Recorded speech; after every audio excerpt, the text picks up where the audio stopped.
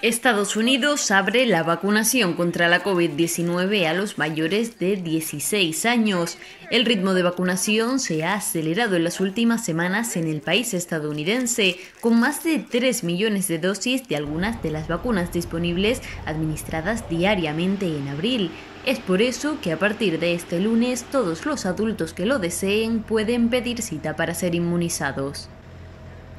Actualmente más de 130 millones de personas han recibido al menos una dosis, la mitad de la población adulta, mientras que más de 84 millones están ya completamente vacunados, lo que supone un cuarto del total del país.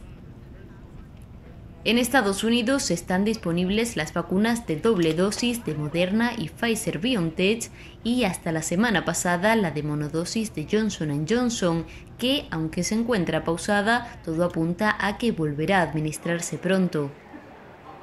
Estados Unidos es el país del mundo más afectado por la pandemia con 31,6 millones de contagios y más de 567 mil fallecidos, según el último recuento independiente de la Universidad Johns Hopkins. Pese a los buenos datos de vacunación, las autoridades sanitarias han continuado advirtiendo a la población que aún no se ha superado la pandemia en el país y han señalado el reciente repunte de contagios como una señal preocupante. En los últimos siete días se ha registrado una media de 67.000 nuevos casos de COVID-19, por encima de los 54.000 que se registraban hace un mes. Al ritmo actual de vacunación, se prevé que Estados Unidos haya vacunado al 70% de su población total de 330 millones para finales de junio.